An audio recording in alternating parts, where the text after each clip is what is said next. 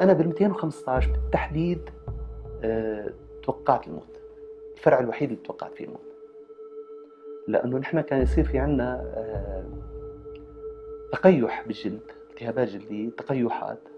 هي التقيحات لما ما بتتعالج عم تعمل آه، التهاب آه، بالنسيج الخلالي مثل ما نسميه نحن كأطباء.